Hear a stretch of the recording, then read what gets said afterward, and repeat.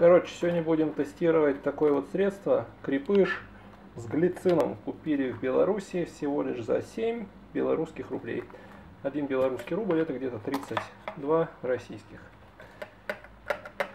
Короче, вытаскиваем эту таблеточку и пытаемся ее растворить. Берем чистую воду питьевую.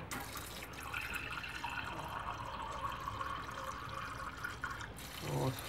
Ну, допустим, 100 мл там вполне хватает. И бросаем эту таблеточку. И пока она растворяется, смотрим, из чего же все это все состоит. Тут придется сфокусироваться нам. Вот такие вот витамины здесь вы видите.